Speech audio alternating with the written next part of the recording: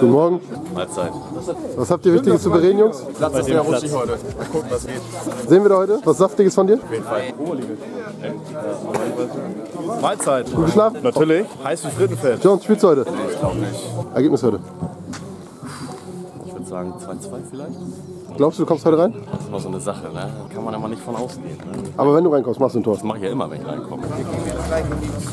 Level L, L19. Mahlzeit auch von mir. Schön, dass ihr wieder eingeschaltet habt zu unserem Spieltagsvlog.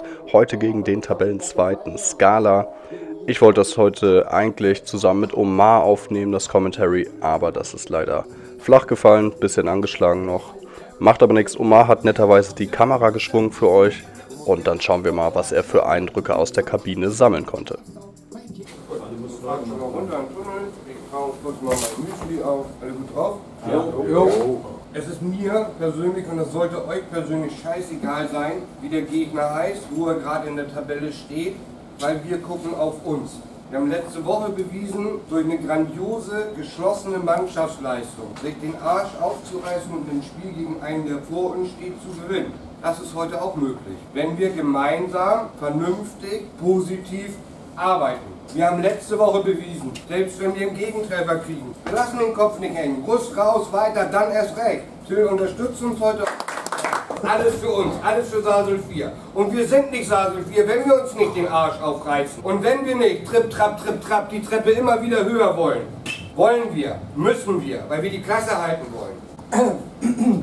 Wir haben ja schon die letzten Spiele immer mal öfter ähm, gesehen, dass sich Weise zwischen die beiden Innenverteidiger fallen lässt. Ich möchte aber noch eine zweite Variante mit reinbringen. Und zwar diese Formation, die wir haben, 4-4-2, in ein leichtes 4-3-3 umzuändern, indem wir quasi unsere Außenspieler komplett auf den Außen positionieren. Äh, Basti mit in den Halbraum rückt, Leon in den Halbraum rückt und Weise von hier diese Pässe spielen. Das heißt, wir können hier uns durchkombinieren. Wir haben 7-1 auf die Fresse bekommen. Bitte, stellt euch dahin, kämpft bis ihr tot umfallt. Dass jeder, der auf dem Platz steht, wirklich alles gibt, okay?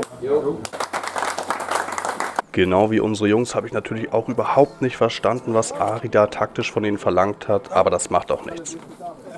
Heute zu 0, Jerome. Mein Bestes, ne? Halt es hast du. Ich weiß ganz genau, was er gemacht hat. Er hat ganz nah an mein Gesicht rangezoomt und lacht sich jetzt gerade heimlich kaputt. Ja, ist absolut richtig, Ari. Genau das hat Omar gemacht und das macht er auch meiner Meinung nach sehr gut.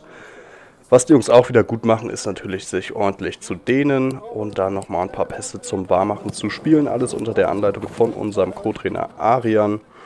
Ja, und zum Warmschießen muss ich nicht viel sagen. Genießt das einfach, da sind ein paar echt geile Granaten dabei. Zieht's euch rein. Gut so. Morgen. Oder Jerome, mal weg. Weiße. Ja, Leon, gut. Schade. Ja, Leon. Ist okay, gut so. Ja, wie ich schon sagte, ein paar echt geile Schüsse am Start. Und an dieser Stelle wollen wir aber noch einmal unseren Ehrengast heute begrüßen, Timmy, der leider nicht dabei sein kann. Warum? Das sagt er uns selber. Timmy, wieso hat es heute nicht gereicht? Ein bisschen, ein bisschen Schmerz. Da ist nichts. Edelmann, Fritze, Digga, guck mal. Hey. Danke, Bro. Für drei Punkte heute. Kuss. Jeder konzentriert sich, jeder fährt jetzt hoch, jeder kommt in den Tunnel und jeder gibt jetzt Gas. Okay? Ja, nach der Ansage von Ari habe ich auch richtig Bock aufs Game. Allerdings starten wir das Ganze mit einer Schweigeminute aufgrund der Erdbebenopfer in der Türkei und in Syrien. Ein absolut wichtiges und richtiges Zeichen. Ins Spiel rein starten wir allerdings erstmal etwas planlos. Scala prügelt die Bälle lang.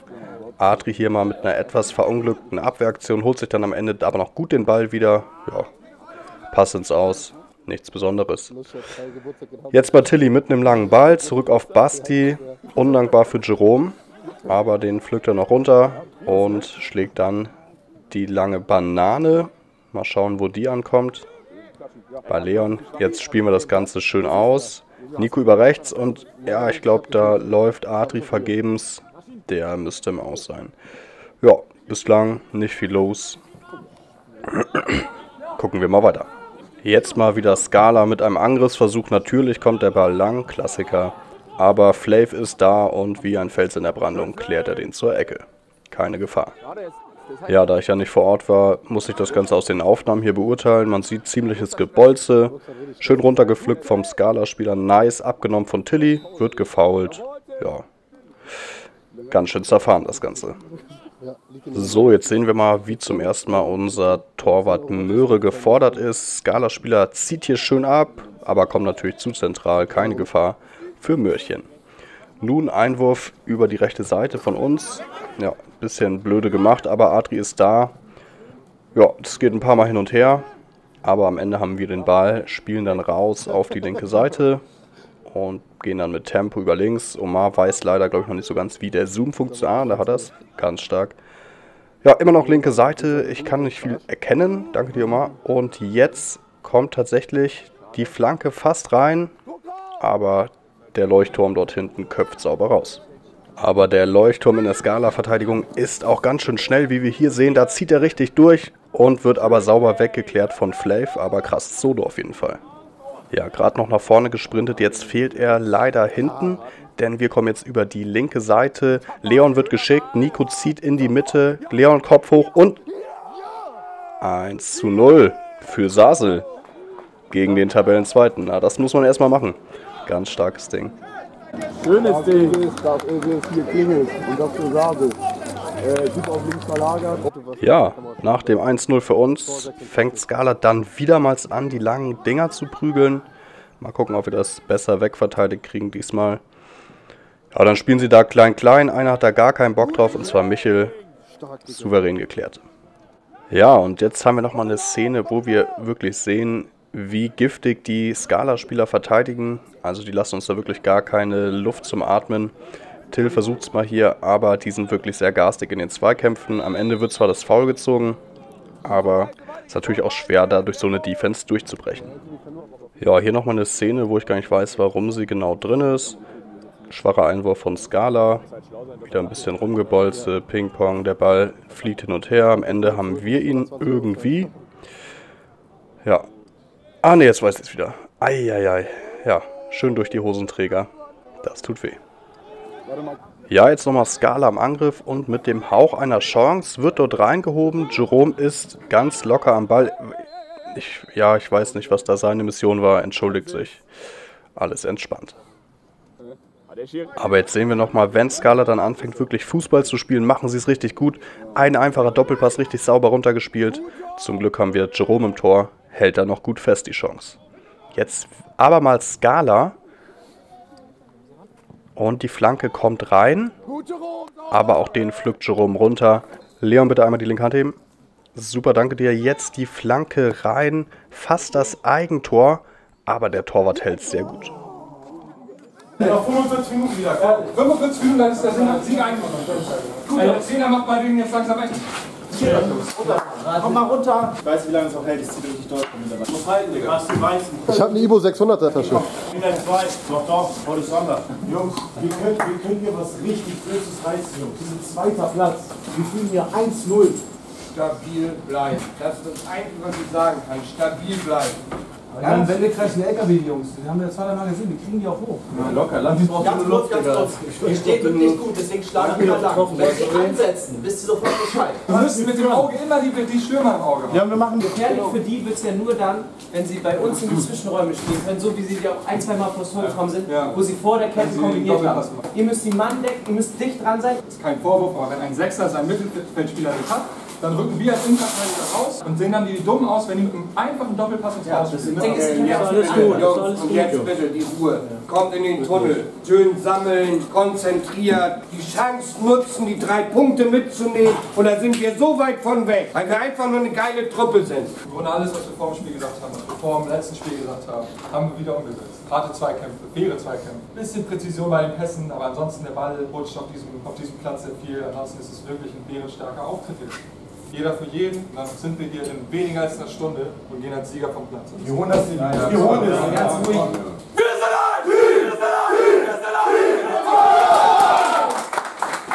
Maschinen. Damit sind wir hoch motiviert in der zweiten Halbzeit. Nico nimmt noch schnell alle Gegner hops und dann gehen wir rein. Und hier in dieser Szene gleich nochmal Nico, guckt euch mal das Tempo an. Da nimmt er dem Verteidiger gleich mal ein paar Meter ab. Schließt dann etwas unsauber ab, aber ich sag's euch, der Junge hat die 7 Meilen Stiefel auf jeden Fall am Start.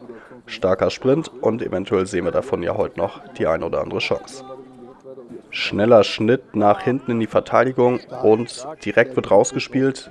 Tilly Kopf hat er oben, verlagert auf die rechte Seite, auch um Ma hier wieder ein bisschen näher rangezoomt. Wäre dankbar, danke dir.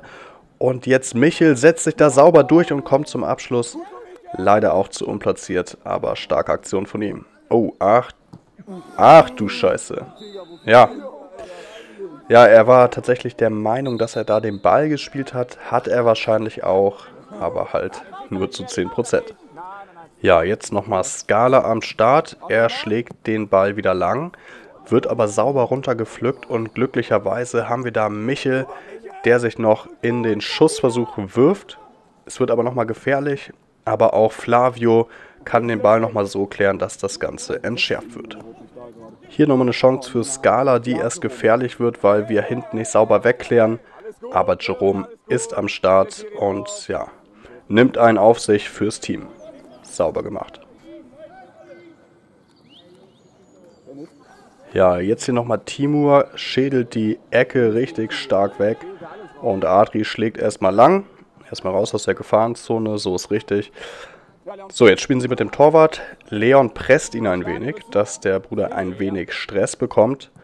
Und den bekommt er auch, spielt den Ball nämlich zu Nico. Der nimmt Tempo auf. Hm, ja. Aua.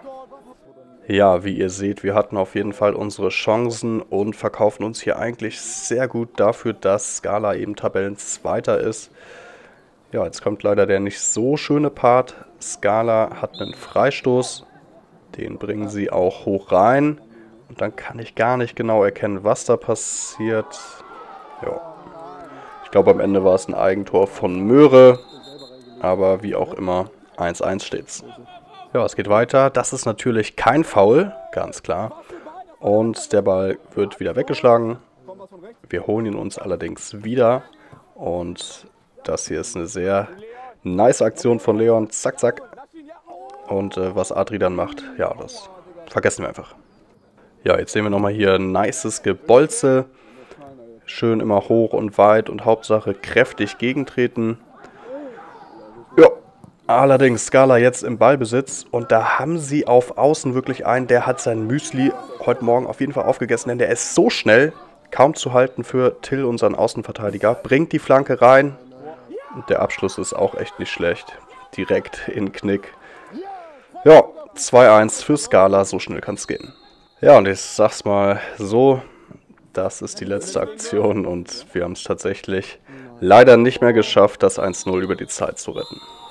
Es nützt nichts, Leute. Nächste Woche DSC Hanseat arbeiten, dann müssen wir halt die schlagen. Die haben halt das Glück gehabt und das ist so, wenn du oben stehst, scheißegal hier. Abhaken, sofort konzentrieren aufs nächste Spiel und dann Trip Trap gehen wir halt dann höher. Wir haben es richtig gut gemacht. So, Timmy, was hast du zum Spiel? 18 Minuten gespielt, zwei, drei Minuten kurz geschlafen. Eigentlich hätten wir unentschieden verdient gehabt, mindestens Köpfe gehen hoch, nächste Woche Hanseat, die hauen wir weg.